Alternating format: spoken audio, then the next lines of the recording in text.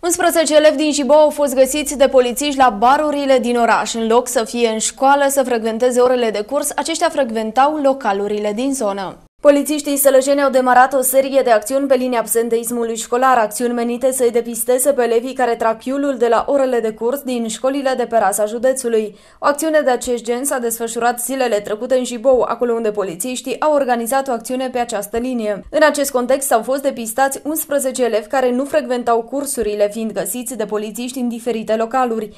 Polițiștii au întocmit informări către unitățile de învățământ cu datele elevilor depistați în timpul acțiunii, în vederea luării măsurilor disciplinare de către conducerea acestor unități. Aceste acțiuni au fost declanșate recent și pe rasa municipiului Zalău, dar și în Șimleu Silvaniei și Cehu Silvaniei, unități vizate de polițiști fiind barurile, sălile de jocuri și unitățile fast food.